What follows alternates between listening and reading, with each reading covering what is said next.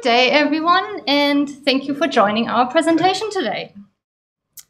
Uh, yeah, today we will first tell you a little bit about ourselves, then we will give you some uh, project context, and then I will tell you some particular takeaways that I've taken away from this project um, from a project manager perspective. And I will then hand over to Alex, who will tell you a little bit about the technical challenges we faced and how we've overcome them.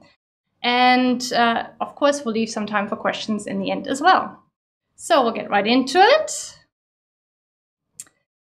So I'm Julie. I was born and raised in Germany, but somehow a journey around the world has led me to move to Australia about 10 years ago. And now I call this, or more specifically, Melbourne home. I have been working in the IT industry for about 15 years, seven of which I have been a project manager for. And in the last five years, I've been managing Drupal projects, mostly in the government space, working for Salsa Digital. And over to you, Alex. Hi, everyone. Um, Alex uh, Skrypnyk, Drupal solution architect, uh, working in IT for 20 years, 12 of which in Drupal. Um, Julie. All right. All right, we'll give you some project context. So, this project has some sensitivities, which, which is why this particular client has asked us to stay anonymous.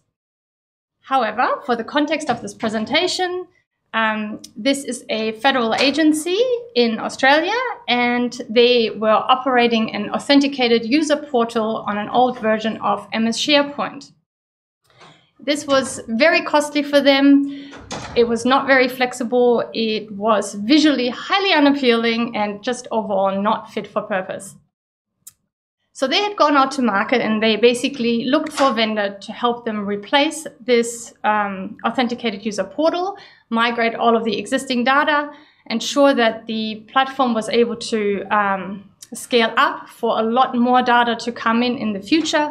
And they also wanted to create analytical reports to get business insights in the absence of Google Analytics as an option. And they also in the future will integrate with an internal publishing system.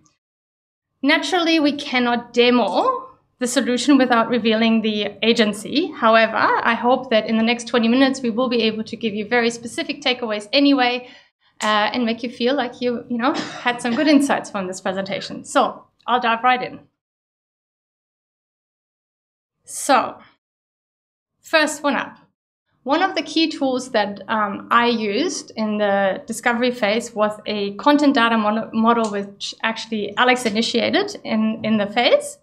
And it basically outlines all of the content types with their fields, all of the vocabularies with their fields, and the relationships between them. And that was a very powerful tool to um, to myself, but also to display to the stakeholders to show show these relationships. So let me just quickly bring this up, and I'm going to just say this is also a highly anonymized, sanitized version of the the thing. Give me a second.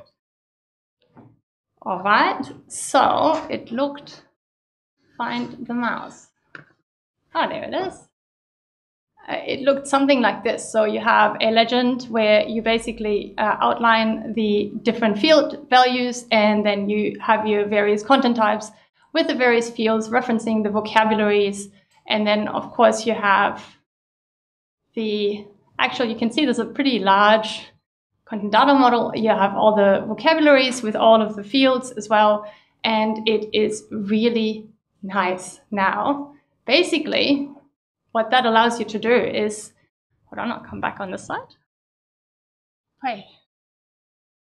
Uh, what that allows you to do is whenever you um, basically look at any part of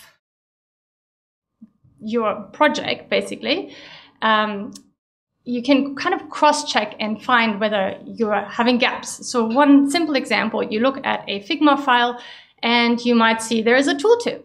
And then you can quickly check your content data model and identify whether that vocabulary actually has a description field, which can then display the information in the tooltip. So little things like that just make it really easy. It's basically like a puzzle. When you're trying to puzzle, you're also looking at an image to see how your puzzle pieces fit into that, that image. Trying to do that puzzle without it would be infinitely more difficult. So that's basically what a content data model can do for you. So if you ever uh, end up in, in a complex project, I highly recommend it. Right now, let me just figure out how to get here.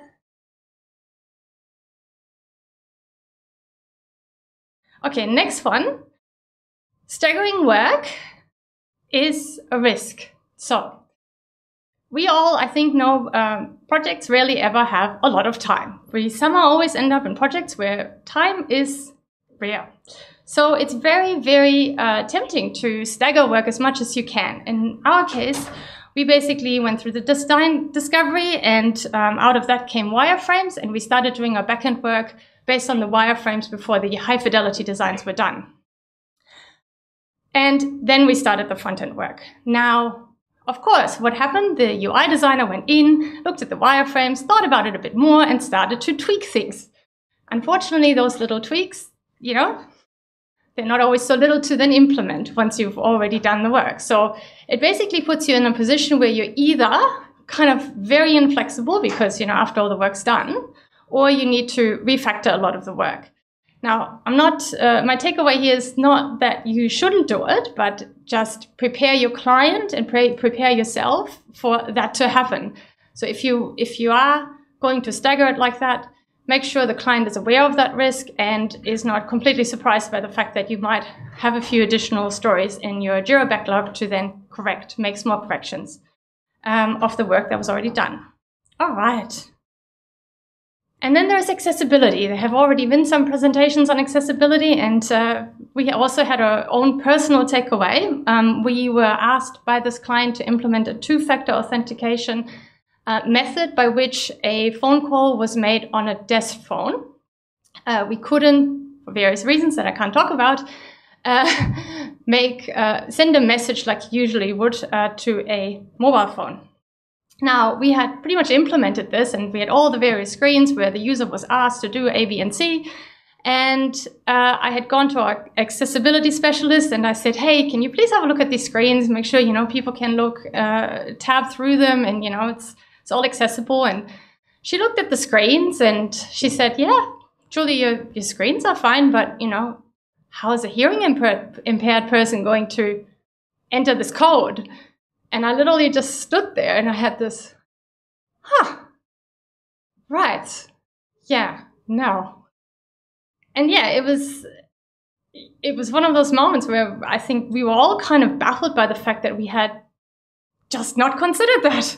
So yeah, for various reasons, we moved away from this uh, solution and we moved towards other solutions. But yeah, definitely, um, and I think Philippa mentioned it today as well in her presentation just make sure you consider accessibility all the way through. Sometimes it can be tempting to focus on a problem and how to solve it. Just make sure you solve it for all users. And this one was a fun one too. So we had this incredibly tight timeline and we had delivered all these uh, beautiful designs to the uh, various stakeholders. And the stakeholders came back and they said, this looks fantastic. This is awesome. Go for it. There was literally no feedback. It's like, great, that's fantastic because we have no time. So, you know, let's, let's just move on. And there was this little voice in my head that said, eh, but you know, it was very inco- it was very convenient to have no feedback when you're on a very tight timeline. And guess what happened? As soon as we built the thing, stakeholders came back and they're like, well, obviously, you know, we need that banner to be smaller. And I was like, obviously, huh? Wish I had known that earlier because, of course, at that point, it is so much more expensive, so much more time consuming to correct these things. So, my takeaway from you is for you is that if you ever get no feedback, you probably just need to ask more questions, go into another meeting with those stakeholders, talk them through in more detail because more likely than not, they have just not spent enough time looking at these designs. the devil's in the detail. The Germans say the devil is a squirrel. Don't ask me why. So, get stakeholders across it. Or maybe just adjust your expectations. What do I mean? We had gone through, uh, you know, basically months and months of project, like months and months. And we get to this day, this go live day, and we are so excited. And we get there. And a week later, within a week, we get a list of enhancement requests. It's literally like 30 or so requests.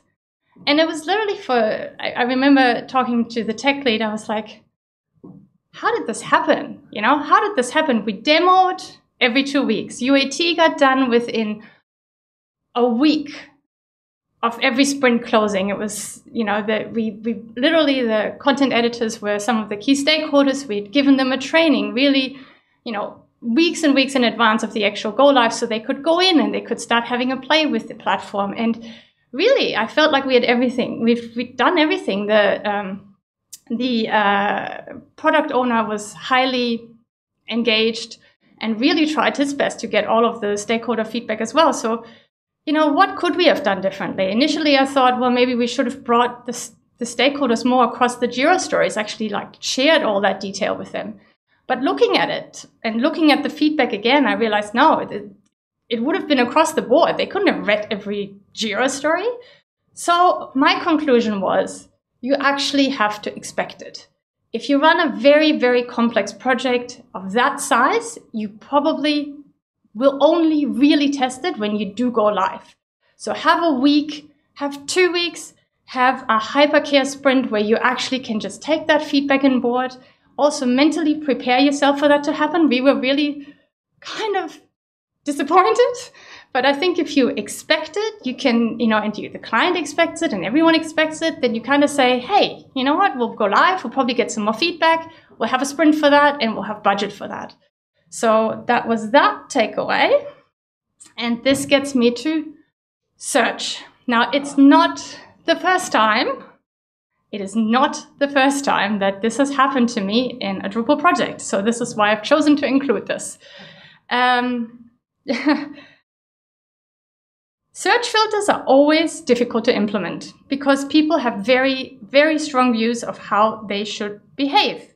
In our case, the client wanted faceted search combined with view filters in a toolbar above the search results, essentially wanting the results to refresh without the page refreshing, and also combining that with checkboxes to either include or exclude certain results.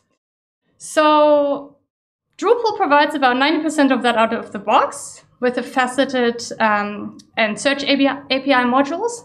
But to override and tweak those last 10% turned out to be very, very, very tricky. So, yes, if you ever see faceted search in your designs, just add a bit more risk, add a bit more time, because you will likely need it.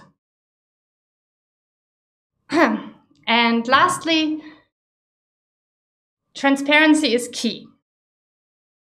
We had bi-weekly detailed project reports delivered to the client, which um, very clearly outlined uh, how we were traveling from a budget perspective, how we were going on risk, what challenges we were facing, how how we were burning down, um, really everything was in there very detailed but also we had a weekly check-in with them where we would go through that and we would just basically put everything on the table. So there was literally a no surprise environment for this client.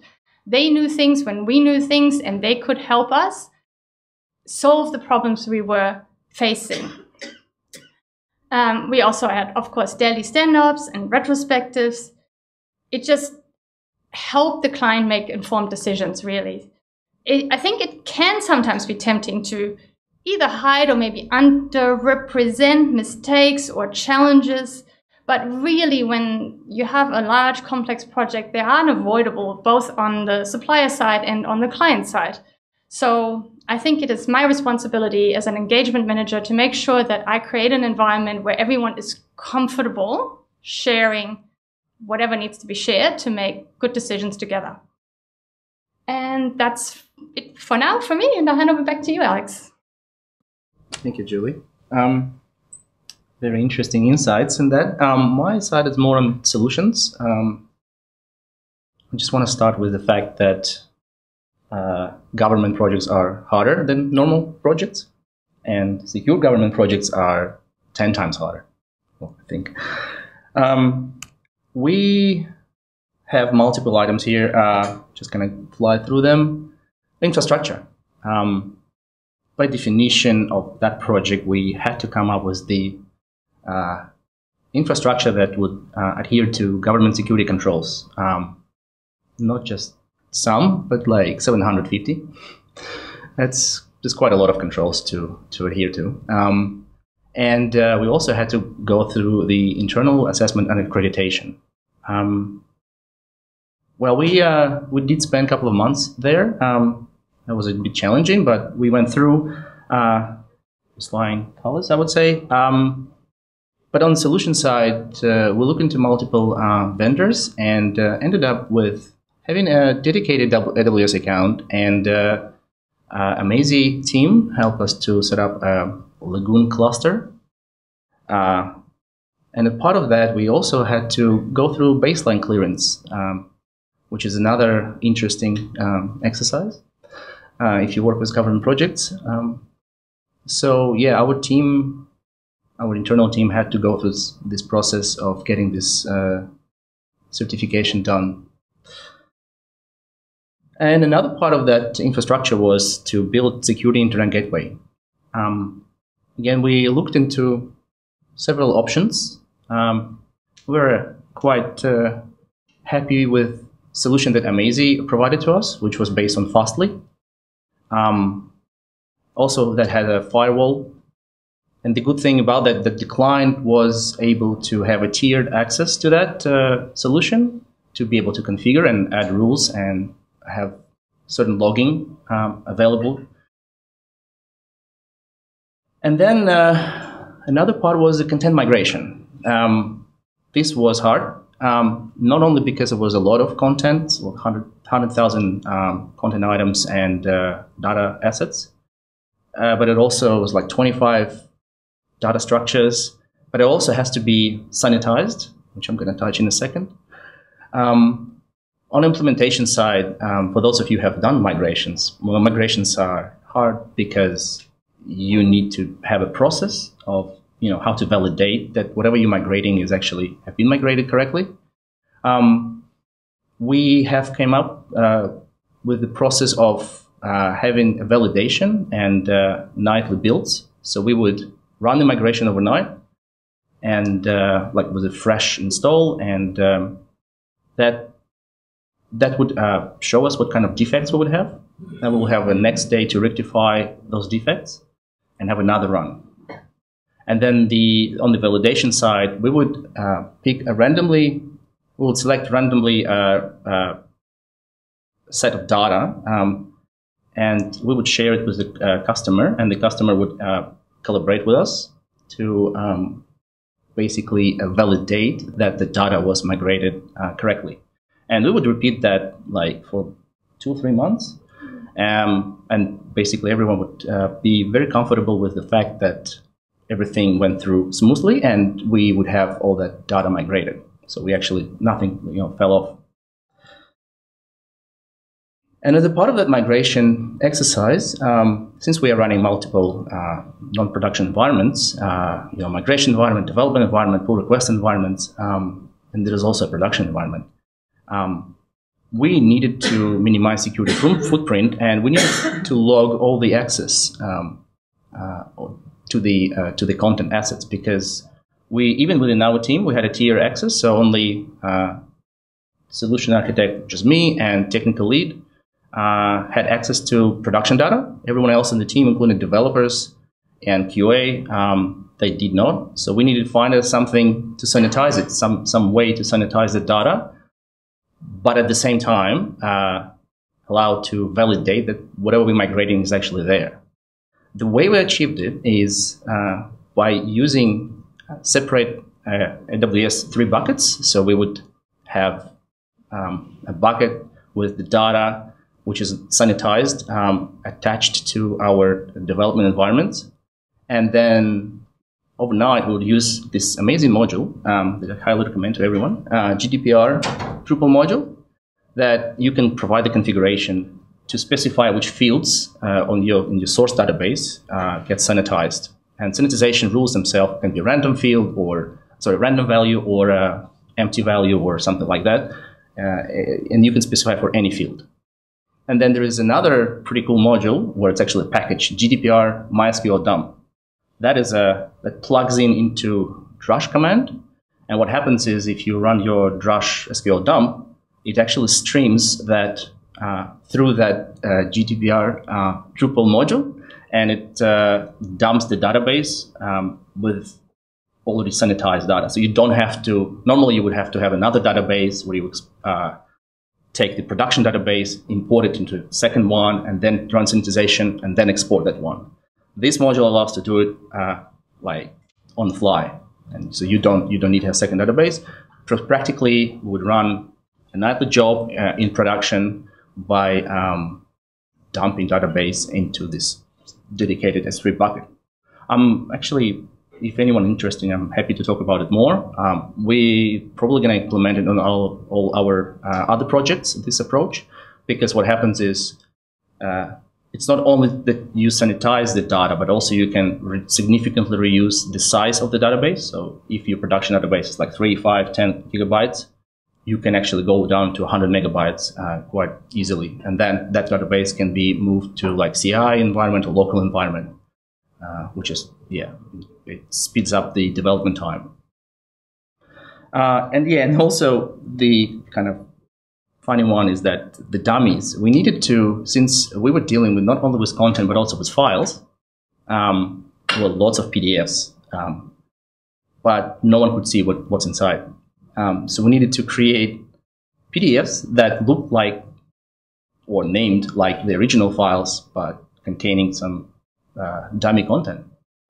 We needed that so that uh, all the internal linking and all the entity linking and file linking would work. So the QA team could actually validate that whatever was migrated uh, would, you know, be uh, would work together and I guess referenceable.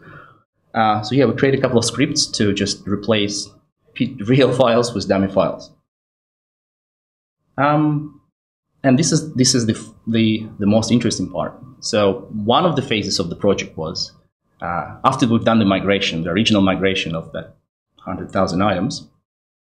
Um, there was another data source, and we needed Drupal to work with 1.2 terabytes of data, and yeah, terabytes, not gigabytes, yeah and with 500 gigabytes of data uh, growth every month, uh, sorry, every year, every year. So that is quite a lot of data. Um, and um, that also has to be searchable. Um, we looked around and we'll be like, hmm, can Drupal handle this? Um, it's good that we were on AWS already. So we looked at solutions and uh, OpenSearch, yes. So OpenSearch is Elastic. It's a fork of Elasticsearch, um, but it's in AWS, uh, available as a service, cloud-based. So what we did was we used this module, again, pretty cool module called External Entities. Uh, what it does, uh, and Elasticsearch connector, of course. Uh, what it does, it's you can have your nodes or your entities uh, sitting within a third-party system like Elasticsearch or OpenSearch in this case, and then create a mapping for the fields so that those entities appear uh, to Drupal as they are no normal nodes. And then you can use views, you can use whatever infrastructure or structure of Drupal you need to just communicate with them. And you can use Search API to actually build the search um, so yeah, that 1.2 terabytes of data is the problem itself was solved like that, and uh, OpenSearch is fast, right? And if we need more um, space, it's cloud-based, so we just we just uh, increase the size, and I think it goes. I believe one webhead there goes up to four terabytes. So for the next maybe five years, we're fine. Four or five years, we're fine, and then uh, we'll see if there's another option. Um, yeah, I'm just gonna fly through this one. So another option, uh, another point was to do a, a visual uplift, and um, some of you have seen CivicTheme, which is behind you right now on the screen.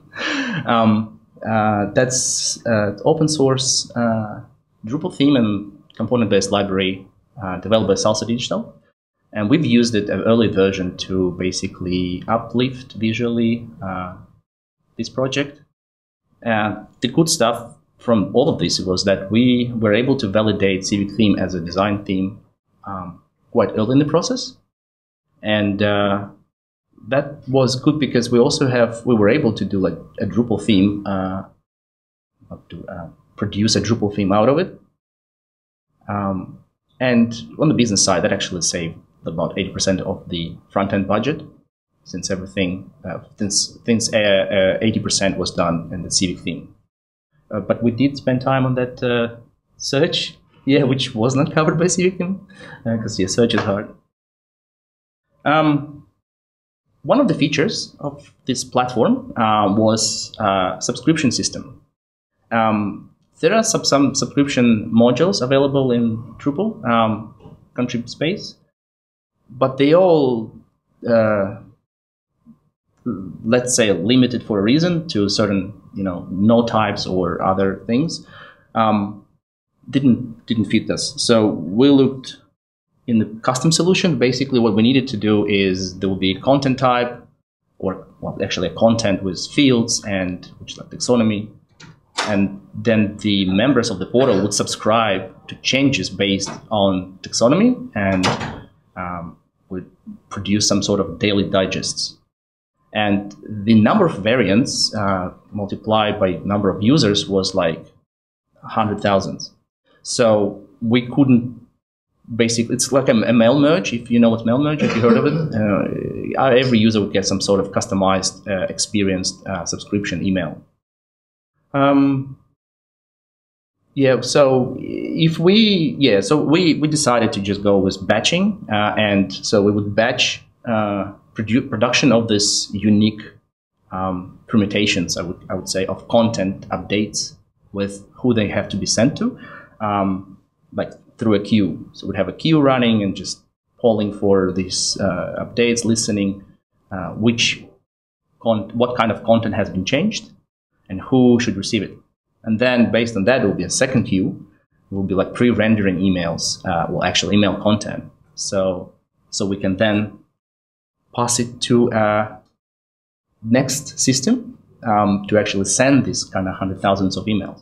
And I think we're talking about like uh, 10,000 emails per day. No, uh, five, five, about 5,000. So it's, it's a lot um, for, for a Drupal site. Um, again, looked places and they'll be like, okay, we already have a AWS account. Why don't we look at the one of the services, which is a simple email service? So SES. Um, uh, surprisingly, this was the easy part because we already had a system that was generating emails. It was just a matter of passing them uh, over to the system that would be sending them. And that was uh, that was okay. So one thing we had to be um, uh, considerate is the sender reputation. So sender reputation is something that um, that you need to monitor. So if you send an email and it will be marked as spam, and many people to mark it as spam, your sender reputation may go down, and uh, your account may be blocked by uh, Amazon. Uh, it doesn't matter how much money you pay to them; they just they just consider that. So this, this is the spam prevention technique. Uh, so really, I have to be uh, monitoring that, and if some if something happens, you need to like respond to their emails uh, to Amazon, and you explain why, what kind of content you send into them, so um, that uh, sender reputation doesn't go down. Um, I guess the last part of the system that we built was analytics, and um, yeah, so we needed to build a secure analytics system. Um, and we needed to allow uh, administrative users uh, to be able to customize existing or create new uh, re uh, reports for analytics. Um, users usually like they know how to use Google Analytics and they get used to the fact that that's very flexible and powerful. And for reasons of data sovereignty and uh, personal data storage, we couldn't use that. Uh, again, we looked around what's available in open source space, uh, and Matomo. Uh, it, it, appeared to be quite a robust system, uh, very very nice on the UI as well. So all the um, I guess the our our users liked that, so they, they were able to build uh, robust reports and complex reports with the data. Uh, and our solution actually sits within AWS as well. So um, I would say thanks to the um, Lagoon uh, implementation that we've used and whole Docker container based system, we just spun up another container, uh, uh, which we had to, like our internal team did it, so we didn't have to involve uh, anyone external to do that for us. So now we have this Matomo um, running in a container in our AWS, and we I think we even have a, a development instance of that if we need to play with it. Uh, and we have uh, analytics basically feeding into an internal system and kind of closed loop. Um, that's it from my technical side of things. So back to you, Julie. Thank you. All right, I have a final conclusion. Um, finding the right people for this job is critical to the success. So this was obviously, as you can tell, a highly complex project, and we've not even told you half of it. And um, I really attribute a lot of the success to the fact that we really just had exactly the right team on this project. We had a very strong technical lead who was approachable and a very good communicator. We had a very strong solution architect in Alex who would make sure that all these solutions were found and would fit together. We had a migration engineer who has had years of experience in migrations and could literally foresee challenges before we saw them. And he literally smashed through these 25 different migration scripts. Um, we had a front end developer who had loads, of years and years of experience in front end, but also particularly in uh, um, implementing uh, design system, uh, I guess, front end based on design systems. And uh, we did have a developer who could do a little bit of all trades, you know, was good at front end and good at back end. And uh, a very thorough QA who really also looked at the big picture, which is, I think, really important um, because otherwise you'll find the problems when the thing goes live. And a strong partner in Amazee uh, for the infrastructure side of things, and a very strong design partner in Oliver Grace who made sure that that visual uplift happened and the users would now actually enjoy using the portal. And lastly, but not to be forgotten at all, we had uh, a good product owner on client side. We had a great project manager on client side. They were able to make decisions. They really involved the stakeholders. The stakeholders were knowledgeable. Basically, it all really came together really well. And I guess that's my opportunity to also just acknowledge that. And that's it. Questions?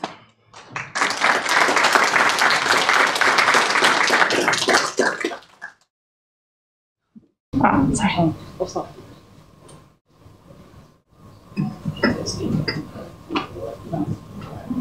I'll try and speak louder. Uh-huh. Um, so just a question around uh, working with the federal agency and data is quite sensitive and all that sort of stuff. I'm just curious to know why there wasn't any considerations given to unit testing or Selenium testing for this stuff? Oh, we have tests for everything automated. Uh, we even had tests for the validation of migrations. The visual was for the human, the, the, the 10% of what you can, uh, cannot automate. So we needed someone to look at things from human side. Is that does that make sense? Or so there, so there were unit tests, but not so much we, client tests. For we did have, we do have, and we did have um, unit tests, uh, functional tests, front end tests, but that would be testing generic things, not the actual content of the migrations. So we needed the human to actually test that it's all coming through properly. Yeah. I actually just have a comment more than a question. You said that the, when you um, handed it over, you then got a list of 30 enhancements. Yes. When we did the CASA website last year, we had a beta version up publicly for three months, not one bit of feedback we went live, there were two months, the storm of emails was, yeah. oh my God. Yes. And we said to everybody, but it's been up there, like, why haven't yeah. you looked at it? Yeah. so I completely sympathise. Yes. yeah, it hurt a little bit. yes.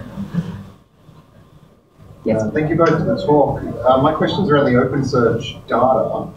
How are you managing the backups and restores into that, uh, that data store? We are using I can't. Can I answer that later, Yes, or, or, or not at all? you um, have to answer it later. there are.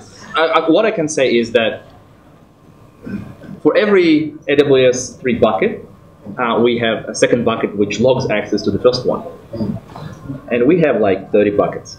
Now, to answer your question about uh, that OpenSearch, we do have a backup system, but um, it's not AWS.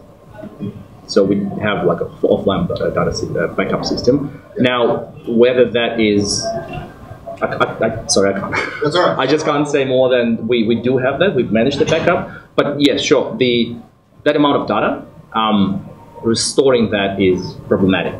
So as in like it's long, and the way to restore it would be to spin up another instance, import it, and then do a switch. Does it make sense? Yeah, it does. Yeah. So it's not. Yeah.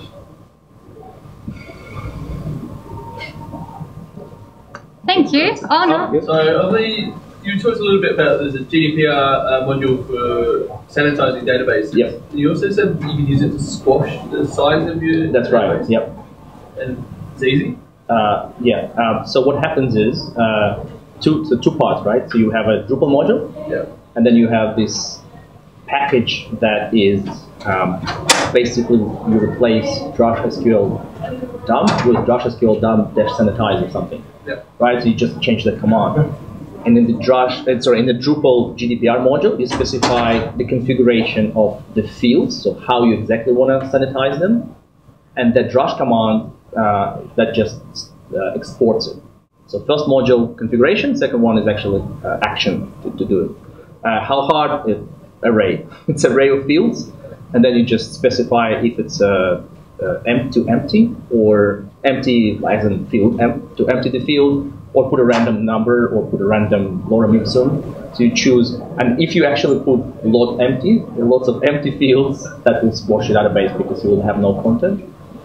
And obviously, you, you were mostly using an external uh, data system for your storage, so presumably that still kind of works even though you're no longer using a, like a local database. So can, can you? So you're using Elasticsearch Search to store your data, yeah. and this, well, I mean, I'm going to assume the answer is yes because you did it. But this still works even though your uh, your data is external. You're not kind of storing it in a Yeah. So traditional database. You're storing it. all that's right. Yeah. So what happens is uh, there is a there is a, uh, a connector that can will just basically sorry there is a config there is external uh, there is a module called external entities right. Yeah. That module is connected with the fields and uh, a URL to Elasticsearch. So every time there is a internal Drupal um, programmatical or API or whatever request to that, you know, like node slash one two three, Yeah. um, that actually knows that that entity type is external, and that goes to that Elasticsearch, uh, retrieves it and uh, pulls it back. And also there is a caching mechanism as well. So you can even set it up so that most the, the one that you retrieve the most uh, cached inside of Drupal. So you can still store. Imagine if you have like historical data, like only a handful of them, or hundreds, or even a thousand of them is used. You can cache that 1,000, but your other million records can store can be stored in Elasticsearch and uh, accessed a little bit slowly. I'm happy. Sorry, I'm happy to talk about that more in detail if you want. Thanks, everyone. Thank you.